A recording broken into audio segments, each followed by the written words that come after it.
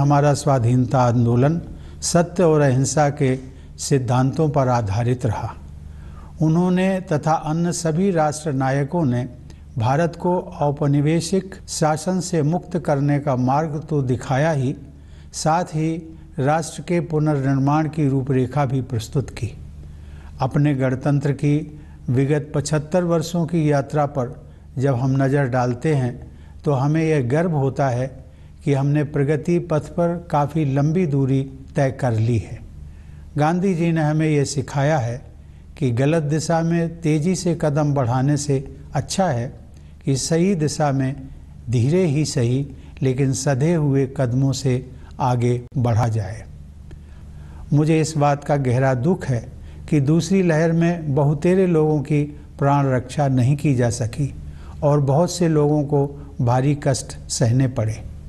यह अभूतपूर्व संकट का समय था।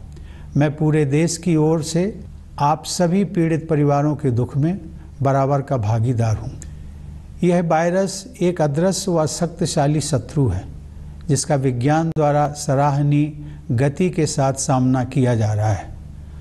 हमें इस बात का संतोष है कि इस महामारी में हमने जितने लोगों की जानें गंवाई हैं, उससे अधिक लोगों की प्राण रक्षा कर सके हैं।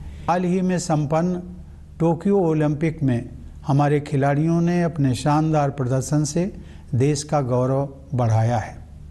भारत ने ओलंपिक खेलों में अपनी भागीदारी के 121 वर्षों में सबसे अधिक मेडल जीतने का इतिहास रचा है।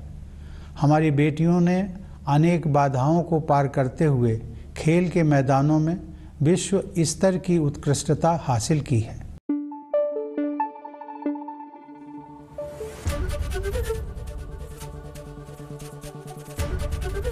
एबीपी न्यूज़ आपको रखे आगे।